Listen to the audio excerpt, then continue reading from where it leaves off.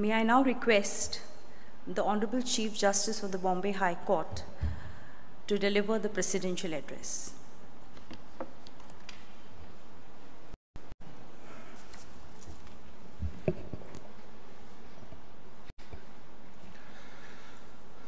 Honorable Dr. Justice Dhananjay Chandrachud, Chief Justice of India, Madam Kalpana Das, my esteemed sister and brother judges, Honorable Miss Justice Mary Baker, former Judge of Supreme Court of Ireland and current Chair, Electoral Commission of Ireland, and members of de her delegation who visited uh, our High Court today.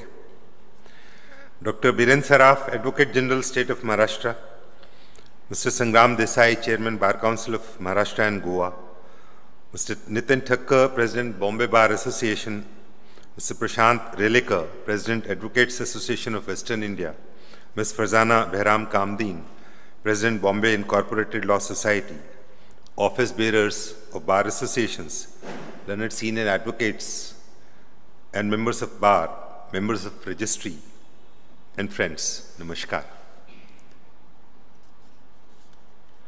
Mumbai है आपकी और आज मेरा घर भी है आपके घर में मैं हूँ और आप मेरे घर में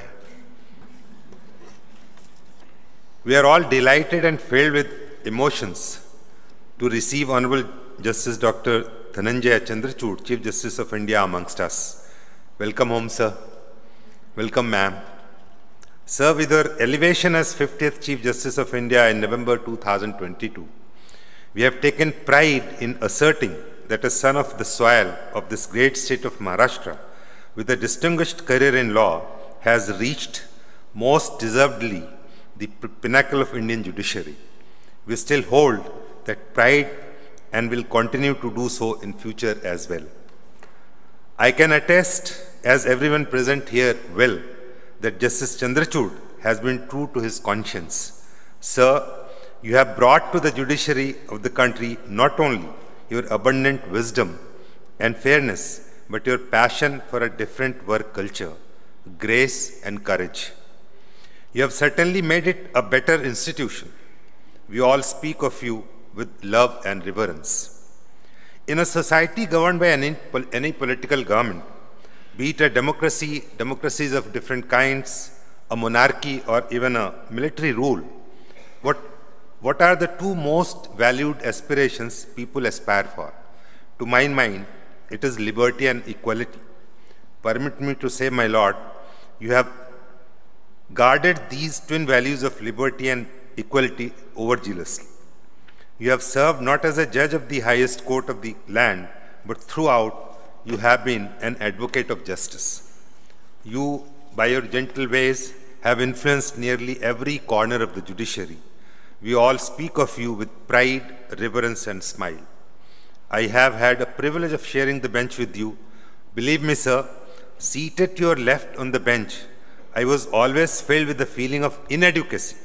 But the very next moment, I always found myself at such an ease that I could give my inputs to the matter on board.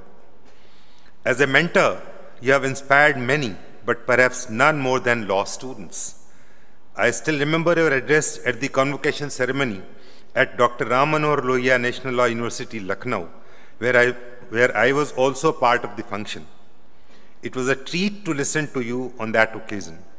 Graduating students, after your address, were filled with emotions, encouragement, and a sense of gratitude. Much has been said by my previous speakers about your various achievements and contributions made by you. However, I would like to highlight your efforts and endeavors in advancing the e-court project, which aims to digitize the judiciary at all levels. Under your leadership, the project has introduced several innovative measures, including courts for adjudicating cases online, the interoperable criminal justice system, the real-time data exchange between courts and police, development of user-friendly e-filing software, implementation of online payment systems and establishment of e-seva kendras for those lacking internet access. Additionally, initiatives such as national service and tracking of electronic processes and a comprehensive judgment search portal have enhanced efficiency of the legal processes in the country. Various other reforms introduced in the system by you will go a long way in the annals of judicial history of this country. These reforms reflect your vision for a modern technology driven judiciary which has been widely recognized. Such tireless efforts in modernizing our judicial system an unrelenting passion for opening windows for access to justice has indeed been commendable and laudable. In fact, all this is in tune with your statement when you were sworn in as Chief Justice of India that your priority will be to serve common man whose trust in judiciary will be strengthened through action, not merely by words. I have no doubt whatsoever that your legacy will endure not only in the judgments rendered, but also in the countless lives you have influenced and the values you have instilled in all of us. I find it fair to say that one who has devoted his entire life to this great institution of judiciary will not be retiring. We all expect it will not be long before you will return to the cause of justice, of course, in a different role. We will miss you greatly, but we shall not forget the lessons that you taught by your words, more importantly, by your example. As you embark on a new innings of your life ahead, we celebrate your dedication, wisdom, contribution to the society at large, and the judiciary in particular. Your influence will continue to resonate within the hallowed halls of our legal system to the sheer benefit of the future generations.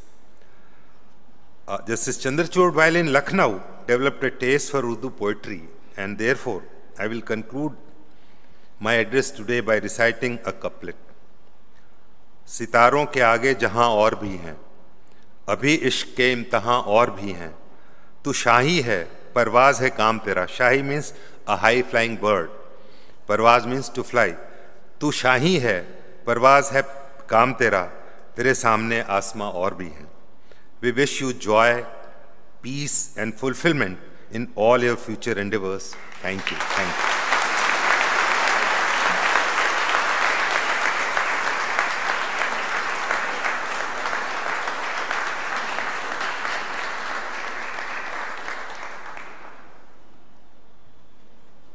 Thank you, Chief Justice Upadhyaya.